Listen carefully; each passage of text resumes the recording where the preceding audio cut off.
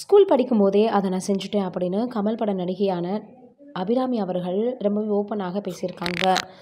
விருமாண்டி படத்தில் நடித்த அபிராமி தனது சமூக வலைதள பக்கத்தின் மூலமாக நேரலையில் ரசிகர்களுக்கு கேட்ட கேள்விக்கு பதில் கொடுத்துருக்காங்க. கேரளாவை பூர்வமாக கொண்ட அபிராமி குழந்தை நட்சத்திரமாக சினிமாவில் அறிமுகமானவங்க. ஆயிரத்தி தொள்ளாயிரத்தி தொண்ணூற்றி ஐந்தாம் ஆண்டு வெளியான காத்த புருஷன் என்ற படத்தின் மூலமாக தான் அவங்க அறிமுகமானாங்க.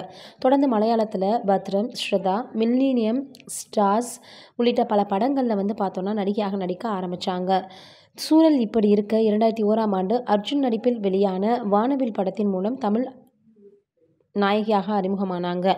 படம் டீசெண்டான வரவேற்பை பெற்றுச்சு. அபிராமியினுடைய நடிப்பும் கவனம் ஈர்த்ததன் காரணமாக அவங்களுக்கு தொடர்ந்து தமிழில் பட வாய்ப்புகள் கிடைச்சது. அதனால் மிடில் கிளாஸ் மாதவன் தோஸ்த் சமுத்திரம் சார்லி சாப்ளின் கார்மேகம் சமஸ்தானம் உள்ளிட்ட பல படங்களில் இவங்களுக்கு நடிக்கிறதுக்கான வாய்ப்பு கிடைச்சது. தான் நடித்த ஒவ்வொரு படத்திலும் தன்னை ஒரு நல்ல நடிகையாக அடையாளப்படுத்திக்கிட்டாங்க அபிராமி. ஹாலிவுட்டும் அபிராமிக்கு அழகு மட்டும் இல்லை திறமையும் இருக்கிறது என்பதை கொஞ்சம் கொஞ்சமாக பேச ஆரம்பிச்சது. அப்படிப்பட்ட சூழலில் தான் அபிராமிக்கு எளிதில் யாருக்கும் கிடைத்திடாத மிகப்பெரிய வாய்ப்பு கிடைச்சது. கமலஹாசன் நடிப்பில் உருவான விருமாண்டி படத்தில் அபிராமி அவர்களுக்கு வாய்ப்பு கிடைச்சது. அன்னலக்ஷ்மி என்ற கதாபாத்திரத்தை ஏற்றுக்கிட்டாங்க. கமலஹாசனோட நடிக்கும்போது அவருக்கு ஈடு கொடுத்து நடிப்பது அவ்வளவு சாதாரணம் இல்லை அதனை விருமாண்டியில் ரொம்பவே சாதாரணமாக நடிச்சிருந்தாங்க. மதுரை ஸ்லாங்கை பேசி தைரியமான பெண்மணியாக நடித்த அப்லாஸை அள்ளினாங்க அபிராமி.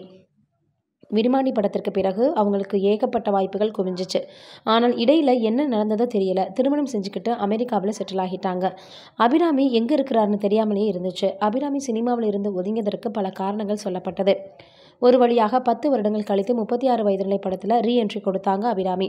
அதிலிருந்து தொடர்ந்து நடித்து வரக்கூடிய அபிராமி தமிழ் மலையாளம் கன்னடம் அப்படின்னு பல மொழிகளிலையும் பிஸியாக வலம் வந்து நடிச்சிட்ருக்காங்க இருக்காங்க. மணிரத்னம் இயக்கத்தில் கமல் நடிக்கும் தக் லைஃப் படத்திலும் அவங்க கமிட் ஆகியிருக்காங்க.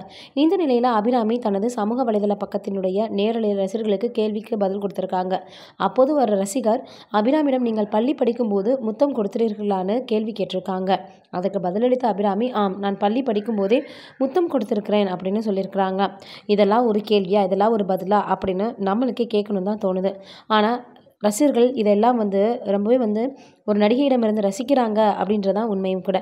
நீங்கள் என்ன நினைக்கிறீங்க இதை பற்றி அப்படின்றத கீழே இருக்கக்கூடிய கமெண்ட்டில் மறக்காமல் பதிவு பண்ணுங்கள் நன்றி வணக்கம்.